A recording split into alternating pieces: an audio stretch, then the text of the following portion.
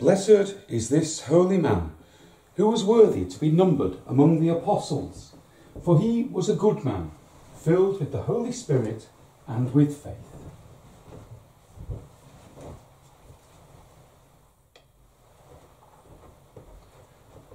In the name of the Father, and of the Son, and of the Holy Spirit. Amen. The Lord be with you. Today the church keeps the feast of Saint Barnabas, a Christian in the early church in Jerusalem, recorded in the scriptures as someone who first comes on the scene with an act of great charity, selling property in order to contribute to the church. Barnabas became a member of the church, a member of that body of apostles, those who sent out to preach the word of God.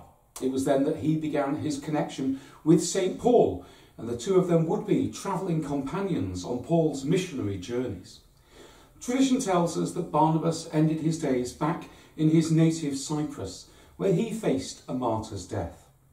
Though not one of the twelve, he is given the title apostle because he did what Jesus asks his disciples to do in the gospel. He was sent out to proclaim the message of Jesus Christ to others. That work of evangelization continues in the church to this day.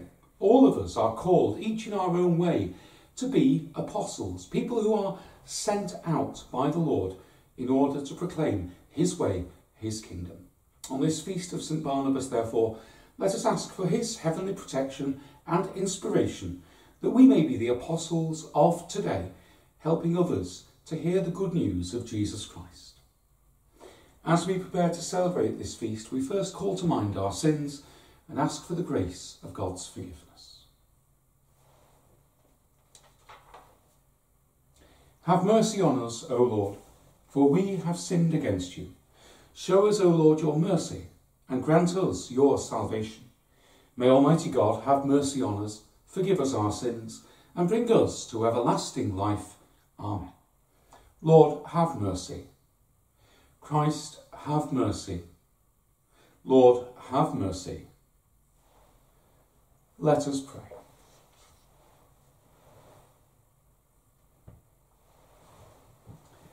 O God, who decreed that St. Barnabas, a man filled with faith in the Holy Spirit, should be set apart to convert the nations, grant that the gospel of Christ, which he strenuously proclaimed, may be faithfully proclaimed by word and deed we ask this through our Lord Jesus Christ, your Son, who lives and reigns with you in the unity of the Holy Spirit, one God, for ever and ever.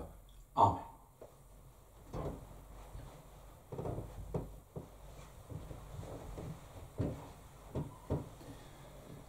A reading from the Acts of the Apostles. A great number believed and were converted to the Lord. The church in Jerusalem heard about this, and they sent Barnabas to Antioch. There he could see for himself that God had given grace, and this pleased him. And he urged them all to remain faithful to the Lord with heartfelt devotion. For he was a good man, filled with the Holy Spirit and with faith. And a large number of people were won over to the Lord. Barnabas then left for Tarsus to look for Saul. And when he found him, he brought him to Antioch. As things turned out, they were to live together in that church a whole year, instructing a large number of people. It was at Antioch that the disciples were first called Christians. In the church at Antioch, the following were prophets and teachers Barnabas, Simeon called Niger, and Lucius of Cyrene, Manaen, who had been brought up with Herod the Tetrarch, and Saul. One day, while they were offering worship to the Lord and keeping a fast, the Holy Spirit said, I want Barnabas and Saul set apart for the work to which I have called them. So it was that after fasting and prayer, they laid their hands on them and sent them off. The word of the Lord. Thanks be to God. The Lord has made known his salvation to the nations. Sing a new song to the Lord, for he has worked wonders. His right hand and his holy arm have brought salvation. The Lord has made known his salvation to the nations. The Lord has made known his salvation, has shown his justice to the nations. He has remembered his truth and love for the house of Israel. The Lord has made known his salvation to the nations. All the ends of the earth have seen the salvation of our God. Shout to the Lord, all the earth, ring out your joy. The Lord has made known his salvation to the nations. Sing psalms to the Lord with the harp, with the sound of music, with trumpets and the sound of the horn, acclaim the King, the Lord. The Lord has made known his salvation to the nations. Alleluia, Alleluia, Alleluia. Go make disciples of all the nations, says the Lord. I am with you always Yes, to the end of time. Alleluia, Alleluia, Alleluia. The Lord be with you. A reading from the Holy Gospel according to Matthew. Glory to you, O Lord. Jesus said to his apostles, As you go, proclaim that the kingdom of heaven is close at hand cure the sick, raise the dead, cleanse the lepers, cast out devils. You received without charge, give without charge. Provide yourselves with no gold or silver, not even with a few coppers for your purses, with no haversack for the journey, or spare tunic, or footwear, or a staff, for the workman deserves his keep. Whatever town or village you go into, ask for someone trustworthy, and stay with him until you leave. As you enter his house, salute it. And if the house deserves it, let your peace descend upon it. If it does not, let your peace come back to you. The Gospel of the Lord. Praise to you, Lord Jesus Christ.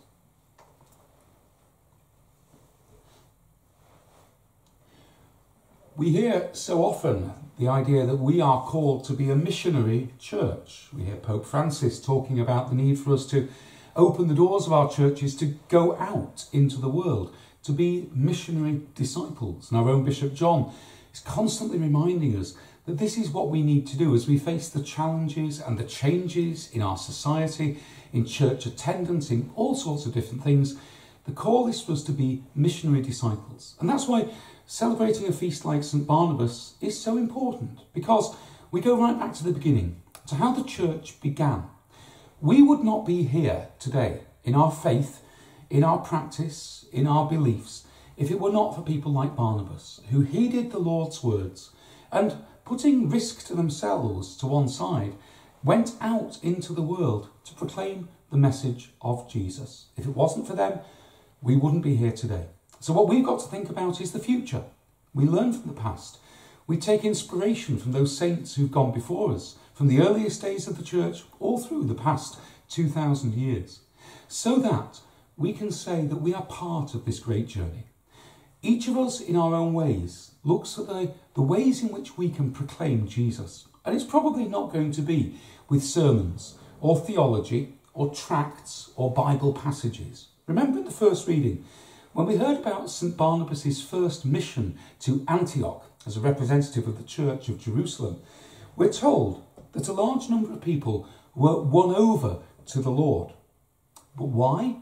Because Barnabas was a good man, filled with the Holy Spirit and with faith. Not necessarily because of the sermons he preached or the debates that he entered into, because he was a good man, filled with the Holy Spirit and with faith.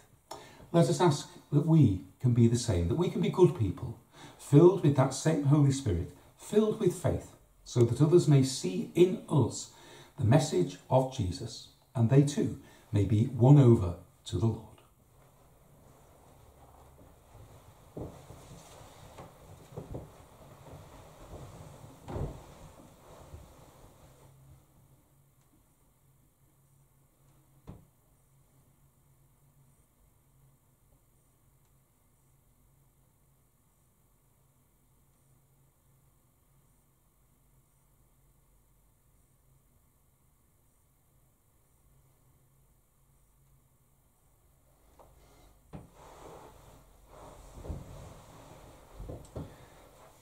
let us think of the prayers that we bring to the Lord today. First, On this feast of St Barnabas, let us pray for all who work to proclaim the gospel, and also for all those who, receiving that word, choose to belong to the church. We pray for all converts, for their journey in faith, for their warm welcome.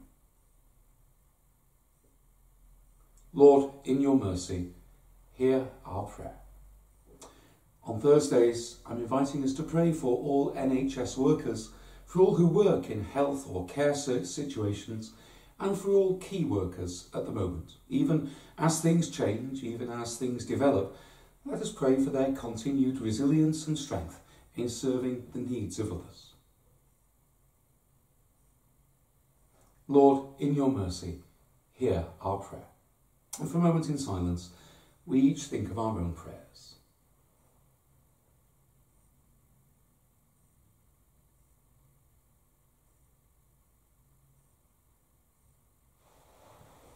Most loving Father, who sent the Spirit into the hearts of believers so that they could proclaim the mysteries of Christ your Son, send that same Spirit into our hearts so that we too may give of ourselves to proclaim Jesus Christ to the world. We ask this through the same Christ our Lord.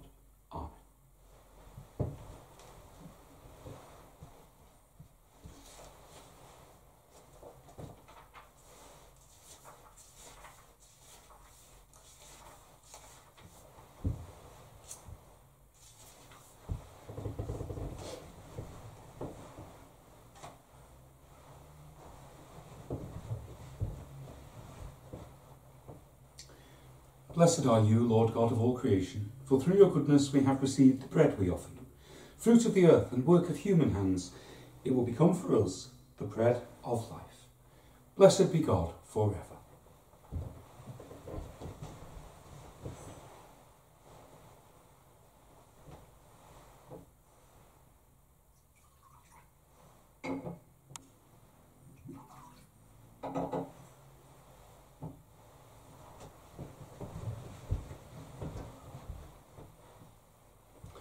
Blessed are you, Lord God of all creation, for through your goodness we have received the wine we offer you. Fruit of the vine and work of human hands, it will become our spiritual drink. Blessed be God forever.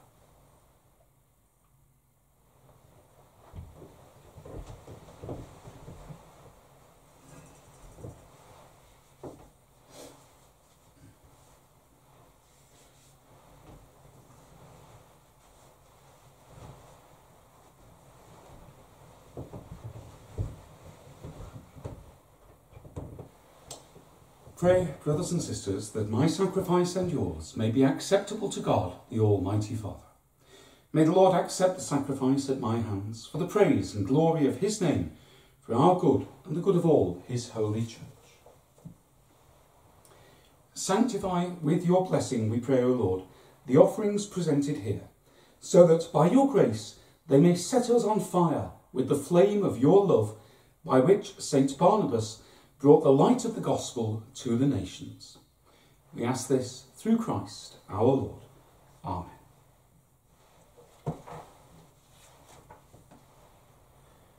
The Lord be with you. Lift up your hearts. Let us give thanks to the Lord our God. It is truly right and just, our duty and our salvation always and everywhere to give you thanks, Lord, Holy Father, Almighty and eternal God, through our Lord Jesus Christ. For you have built your church to stand firm on apostolic foundations, to be a lasting sign of your holiness on earth, and offer all humanity your heavenly teaching. Therefore, now and for ages unending, with all the host of angels, we sing to you with all our hearts, crying out as we acclaim. Holy, holy, holy Lord God of hosts, heaven and earth are full of your glory. Hosanna in the highest. Blessed is he who comes in the name of the Lord. Hosanna in the highest.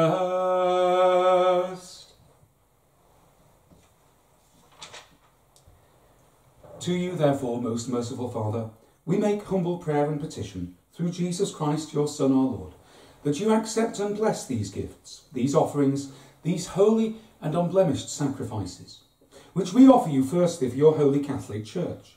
Be pleased to grant her peace, to guard, unite, and govern her throughout the whole world, together with your servant Francis our Pope and John our Bishop, and all those who, holding to the truth, hand on the Catholic and Apostolic faith.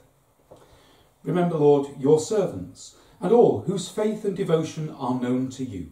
For them, we offer you this sacrifice of praise, or they offer it for themselves and for those who are dear to them, for the redemption of their souls, in hope of health and well-being, and paying their homage to you, the eternal God, living and true. In communion with those whose memory we venerate, especially the glorious ever Virgin Mary, Mother of our God and Lord Jesus Christ, and blessed Joseph, her spouse, your blessed apostles and martyrs, Peter and Paul, Andrew, James, John, Thomas, James, Philip, Bartholomew, Matthew, Simon and Jude, Linus, Cletus, Clement, Sixtus, Cornelius, Cyprian, Lawrence, Chrysogonus, John and Paul, Cosmas and Damian, and all your saints, we ask that through their merits and prayers in all things we may be defended by your protecting help. Therefore, Lord, we pray, graciously accept this oblation of our service, that of your whole family. Order our days in your peace, and command that we be delivered from eternal damnation and counted among the flock of those you have chosen. Be pleased, O God, we pray, to bless, acknowledge, and approve this offering in every respect. Make it spiritual and acceptable, so that it may become for us the body and blood of your most beloved Son, our Lord Jesus Christ. On the day before he was to suffer, he took bread in his holy and venerable hands, and with eyes raised to heaven, to you, O God, his almighty Father, giving you thanks, he said the blessing, broke the bread, and gave it to his disciples, saying, Take this, all of you, and eat of it. For this is my body, which will be given up for you.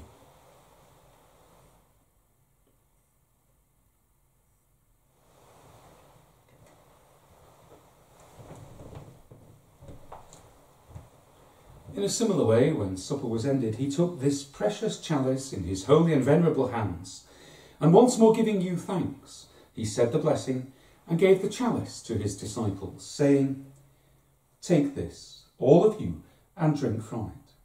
For this is the chalice of my blood, the blood of the new and eternal covenant, which will be poured out for you and for many for the forgiveness of sins. Do this in memory of me.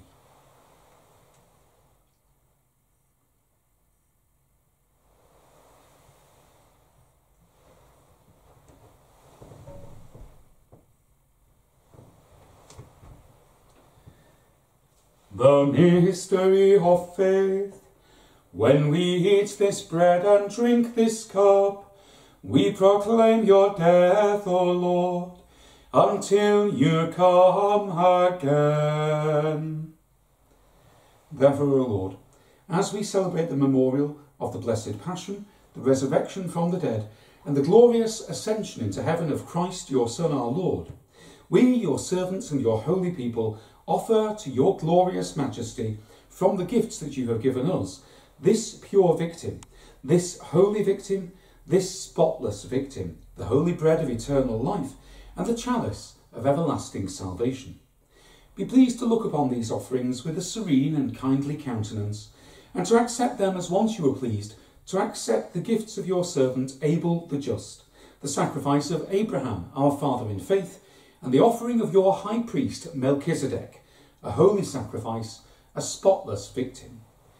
In humble prayer we ask you, Almighty God, command that these gifts be borne by the hands of your holy angel to your altar on high, in the sight of your divine majesty, so that all of us who through this participation at the altar receive the most holy body and blood of your Son may be filled with every grace and heavenly blessing. Remember also, Lord, your servants who have gone before us with the sign of faith and rest in the sleep of peace. Grant them, O Lord, we pray, and all who sleep in Christ, a place of refreshment, light, and peace.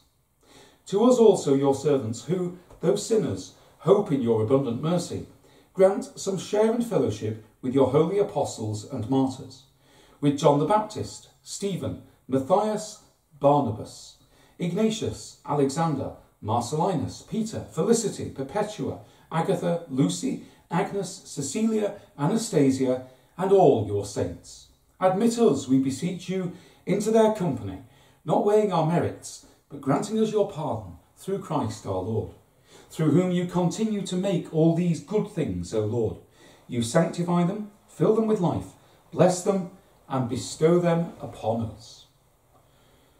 Through him, and with him, and in him, O God, Almighty Father, in the unity of the Holy Spirit, all glory and honour is yours forever and ever.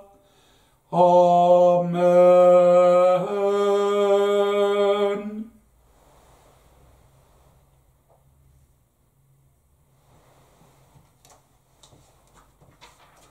At the Saviour's command and formed by divine teaching, we dare to say, Our Father, who art in heaven, hallowed be thy name. Thy kingdom come, thy will be done, on earth as it is in heaven. Give us this day our daily bread, and forgive us our trespasses, as we forgive those who trespass against us. And lead us not into temptation, but deliver us from evil. Deliver us, Lord, we pray, from every evil. Graciously grant peace in our days, that by the help of your mercy we may be always free from sin and safe from all distress, as we await the blessed hope and the coming of our Saviour, Jesus Christ. For the kingdom, the power, and the glory are yours, now and forever. Lord Jesus Christ, who said to your apostles, Peace I leave you, my peace I give you. Look not on our sins, but on the faith of your church, and graciously grant her peace and unity in accordance with your will, who live and reign forever and ever. Amen. The peace of the Lord be with you always.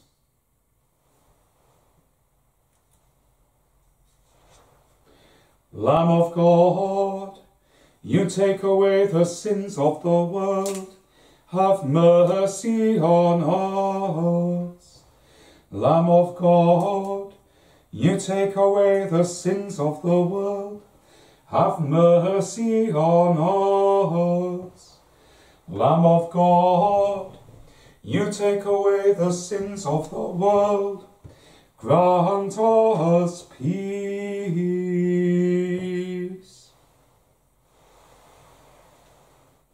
Behold the Lamb of God. Behold him who takes away the sins of the world. Blessed are those called to the supper of the Lamb. Lord, I am not worthy that you should enter under my roof, but only say the word, and my soul shall be healed.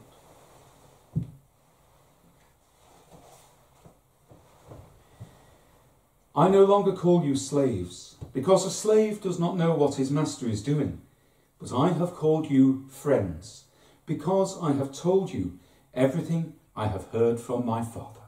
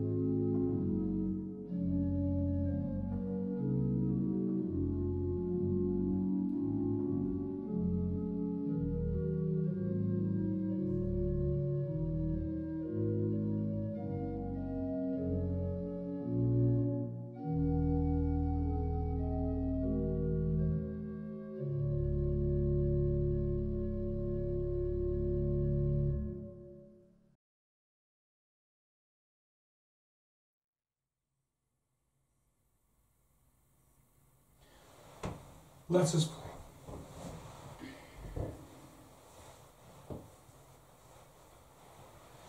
As we receive the pledge of eternal life, we humbly implore you, O Lord, that what we celebrate in sacramental signs on the memorial of the blessed apostle Barnabas, we may one day behold unveiled.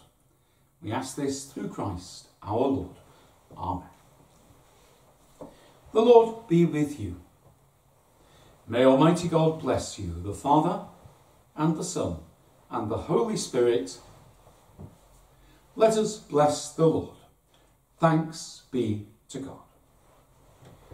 Salve Regina, Mater misericordiae, vita dulcedo, et spes nostra salve. Ad te clamamus, ex oles filii heve, a te suspiramus, gementes et flentes, in hac lacrimarum vale. Ea ego advocata nostra, ilos tuos, misericordes oculos, ad nos converte. Et Iesum, benedictum fructum ventris tui, nobis post hoc exilium ostende. O clemens, o pia, o dulcis, virgo Maria.